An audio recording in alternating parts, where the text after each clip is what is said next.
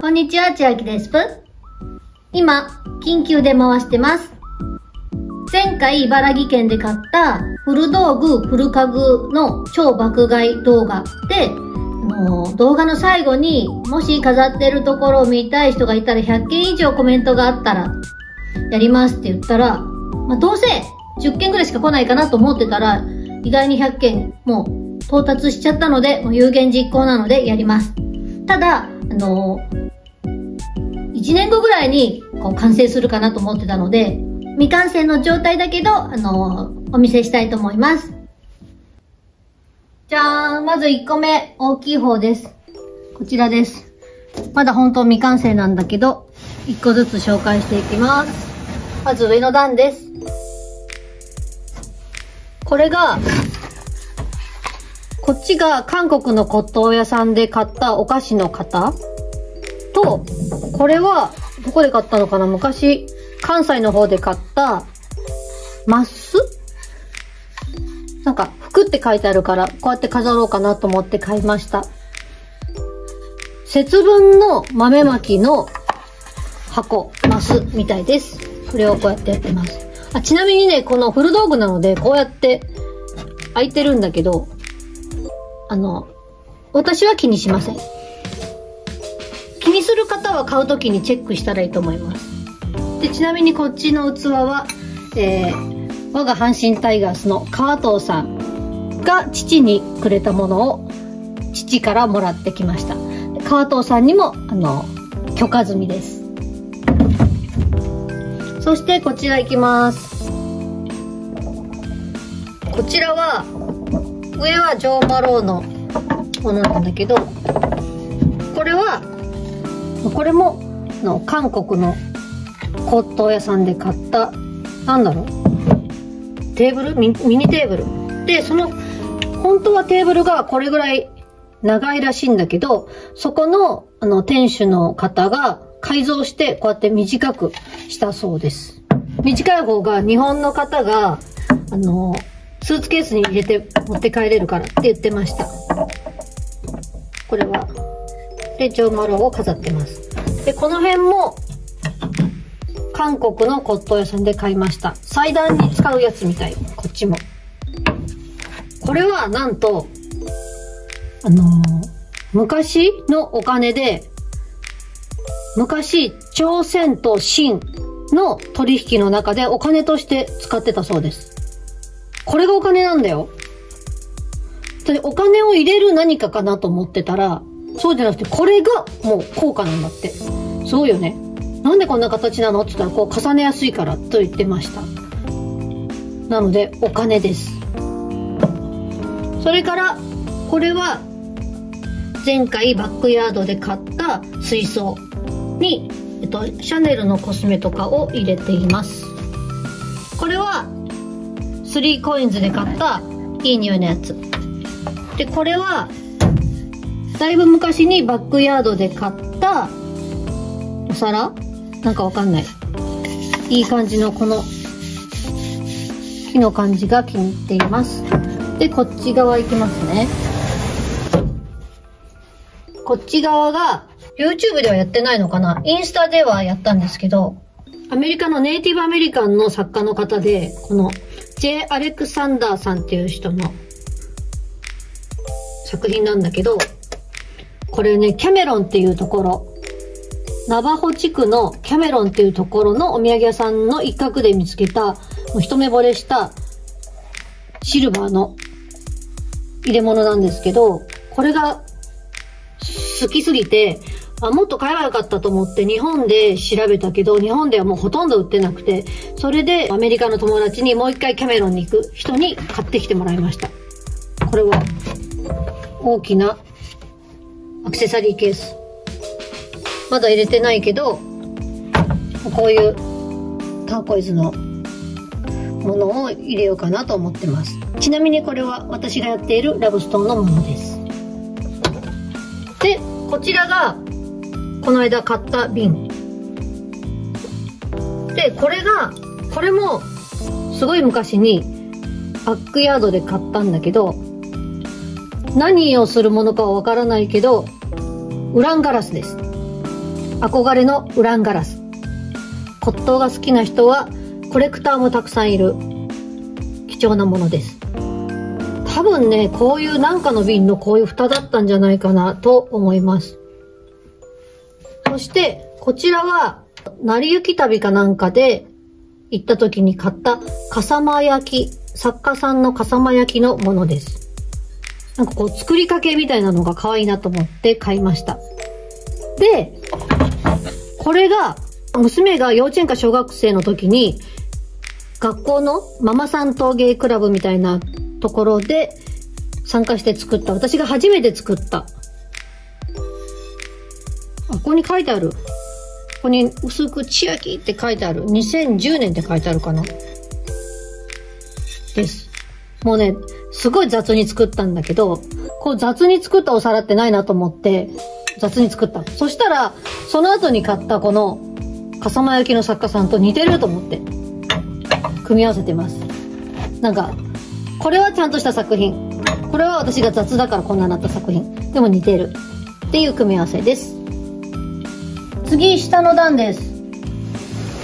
下の段はこちらです。これは無印で買ったカゴ。まだ何も入ってないです。で、こちらはこの間バックヤードで買った昔のお弁当箱。こうやって重ねておいたらいいなと思いました。そして、水色とピンクの組み合わせが好きなので、これは南部鉄器クリーマさんで買いました。全部、こう、鉄でできてるんだけど、これはクリーマさんで買ったピンクの南部鉄器で、すごい色が気に入って買ってずっとしまってました。この組み合わせが可愛いなと思って登場しました。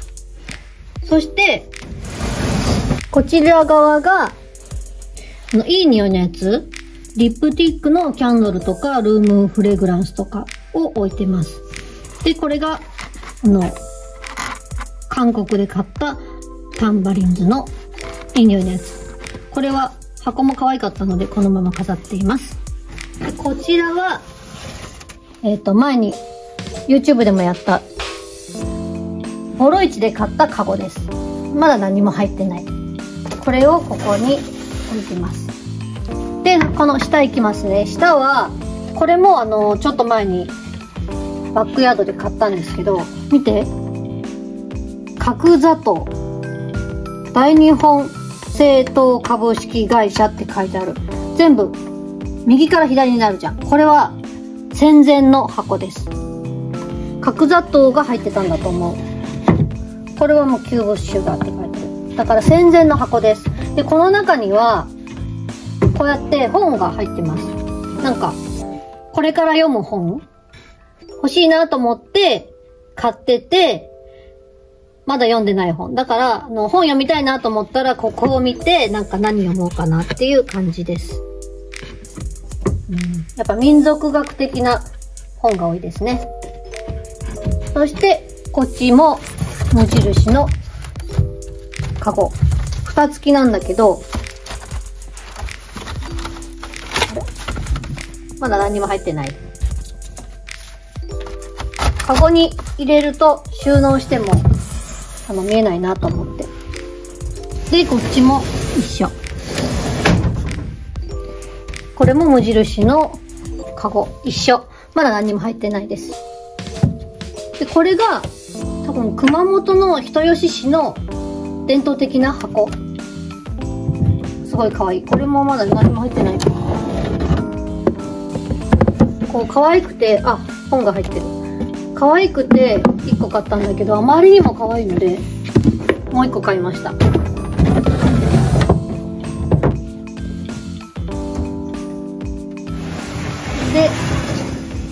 一番下にも引き出しがあります。こっちのまだ何も入ってないです。黒い紙を敷きました。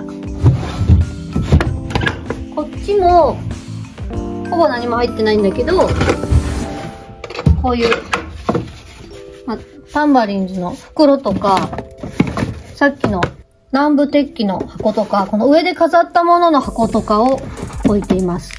あとは、バックヤードの家具屋さんに教えてもらった、あのーこのガラス棚を手入れするときのワックスを Amazon で買いました。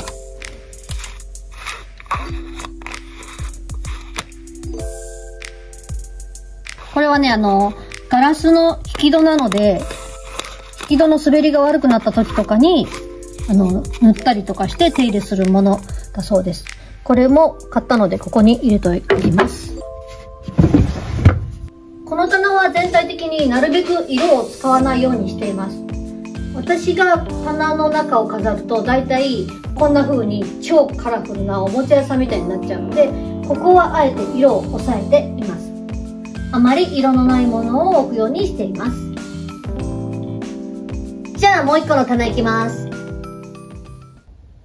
じゃあ次はこちらの小さい方の棚です。この棚は一応真ん中からこう左右に開くようになってます。こっちもまだ未完成なので全然ないんだけど、まずこちら上からここお皿が入ってます。これはね、ほら見て。すごいお皿。これは私と陶芸作家さんのコラボなんですけど、今も販売しています。ハローサーカスの企画で、クリーマさんのエリア CC というブランドで売ってるので、えっと、インスタからタグとか貼っておきますね。これと、この竜。と、こ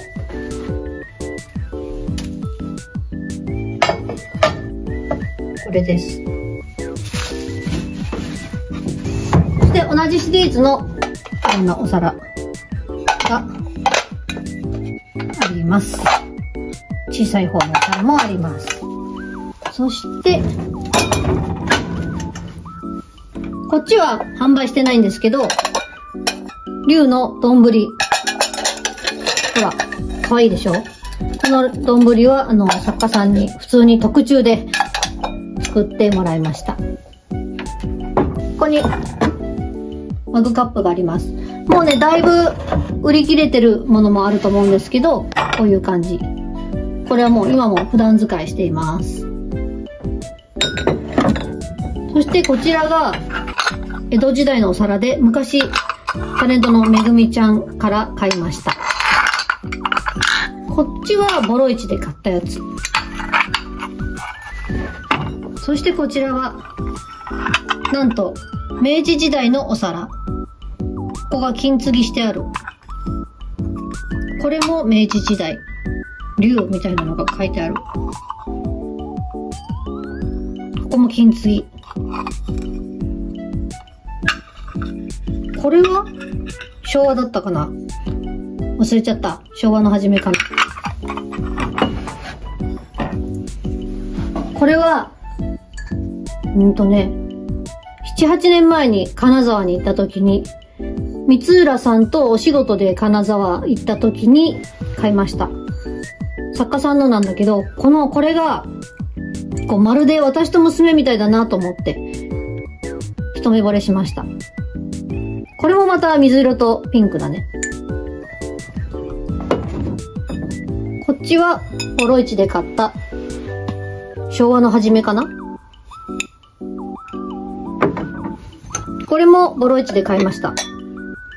何時代かはわからない。この、サイドに絵が描いてあるのが好き。七福神 ?1、2、3、4、5、6、7。七福神だから、結構好き。それからこちらも、これは、これは多分ボロ市かなんかで買ったのかな？で、これはなんか大正のお皿。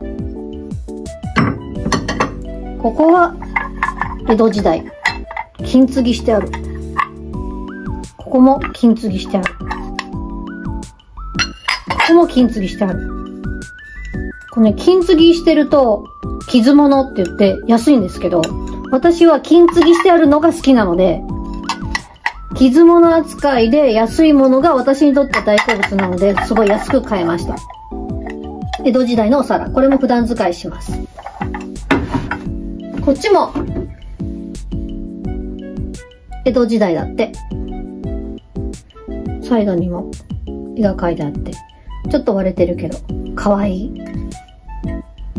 で、二段目は、二段目でこういうね、あのー、古道具なのでこういう汚れとかがあるんだけど、私は気にしません。だってこうやって置いちゃったら気にならないでしょで、あと、こういう隙間もあるけど、私は気にしません。古道具買う人、あの、気にする人はそういうのちゃんとチェックしてくださいね。これはね、群馬県の桐生市で買った群馬県の桐生市の、あの、TBS の潰れない店で、しょっちゅう桐生市の商店街に行ってた時に、大好きだったお気に入りのお店があって、交差点のところにある、瀬戸物屋さん？瀬戸組屋さんって言ったのかな？っていう、おじいちゃんがやってるお皿屋さんがすごいセンスが良くて、そこで買ったものです。金と銀の。で、の、好きなので、この間行こうと思ったら、なんかもう、閉業って書いてあったので、閉まっちゃってるのかな。すごいセンスが良かったので、すごいあの、お皿について詳しいおじいちゃん、80代のおじいちゃんがいたところだったので、また行きたいです。で、こちらも、これ明治時代かな？のガラス。当時は、超大金持ちじゃないとガラスを持ってなかったらしくて、ここ、金継ぎじゃなくて継いでます。なので多分大事にして使ったんだと思う。綺麗。これも昔バックヤードで買いました。それから、だるまさん。そして、これも七福神かな？クリーマさんで買いました。作家さんのもので。これはね、お正月に黒豆とかを入れて使ってます。まだね、だからこの辺はちゃんと飾り切ってないので、なんか、ポンポンって置いてあるだけです。で、これは、この間、バックヤードさんで買った箱が、1、2、3って並んでます。で、ここだけ入ってて、ここは、こうやって、あの、ジップロック系の、こういう、ものが入っています。100均とか IKEA とかでどんどん買っちゃうので、これをここにまとめています。この辺もなんか収納に使いたいなと思っていて。で、まあ下は全部こういう感じで。本当にまだない。あ、こっち側は、これは IKEA で買ったプレート。これは植木に使うやつらしいんだけど、この後ろこんななってるから、えっと、食事じゃなくて植木に使うらしいんだけど、これ買いました。ここになんかポンポン置ける。使ってないのでここです。で、ここもこれも金沢で買った古い木の箱。こういうのはね、一回買った後に、もう一回自分で一回洗います。そして、上は、こんな風に飾ってます。この下のやつはバックヤードで買ったやつ。まあ、その時に言ってた通り、花瓶にしてます。花束をさ、買ってきてさ、こうやって花束を分解して、こういう風に一個一個飾ったりしてます。これは、ボロ市でおばあちゃんから買った木、枝です。まだね、本当に、本当は全部完成してからみんなに見せたかったんだけど、まだ全然途中なので、割合で言うと10のうち2ぐらい。だけどこんな感じになってます。で、ついでなのでもう一個自慢のエリアを紹介します。じゃーん、こちらが、時々 YouTube にもちらっと映るけど、自慢のエリアです。これは、江戸時代末期の薬棚。1,2,3,4,5,6,7,8,9 1,2,3,4,5,6,7,8,9九九81、81個のちっちゃい引き出しと、これぐらいの、この、1、2、3、大きな引き出し。全部で84個の引き出しがあります。この引き出しはだいたいこれぐらい。江戸時代末期に薬屋さん薬を入れてたので調合するためのいろんな薬を入れてたんだと思います。えっとね、これね、ほとんど何も収納してない。ほら。多分、どこを開けても空っぽ。1個ぐらいなんか入ってればいいのにね。ラッポ。です。そして、こちらは友達のお母さんにもらった中国のお皿。でこれは器に詳しい翔太郎さんから買った金の器。それからこっちが、あの、90年代によく香港に何回も遊びに行ったんですけど、その時にしょっちゅう売ってたデッドストックの蓋付きのマグカップ。本当に90年代はもうこの模様がこのシリーズとか黄色とかグリーンとかので、もうお土産屋さんにもたくさんあったの。もうみんなこれ買うんじゃないかぐらいたくさんあったのに、2000年代になってからもうほとんどなくなっちゃってて、後から欲しくなった時には全然売ってないっていう状態で、やっと見つけました。それからここは、軍配です。ググってください。これはボロ市で一個一個買ってます。今全部で12個ぐらいあります。集めてます。こちらはハワイのリサイクルショップで買った瓶で、ここに多分これワシントンだと思う。映ってます。こうやって花瓶にしてます。今秋なので、ススキと、これは大分県の、大分県の別府で買ったキツネ。これ娘がどうしても欲しいって言って買いました。娘はね、これを被るって言ってたんだけど、結局被んなかったので、ここに置いてます。そしてこちらは、あの、PT キングさんにもらった、関西で活躍しているだるま職人さんのだるまで名前入りです。これを私をイメージして作ってくれたみたい。ちなみにここ、目が1個入ってるんですけど、別にどこにも書いてないんだけど、これは、えー YouTube 始めた時に、登録者100万人になりますようにって言って、ここに目を入れました。こんな感じです。こちらよくいろんな人に聞かれるので紹介しました。以上、千秋のルームツアーフル道具バージョンでした。チャンネル登録といいねもよろしくお願いします。インスタ、ツイッター、TikTok、アメブロ、Facebook もチェックしてください。インテリアはね、インスタによくちょいちょい千秋インテリアとして載せてるので、そちらもチェックしてね。またね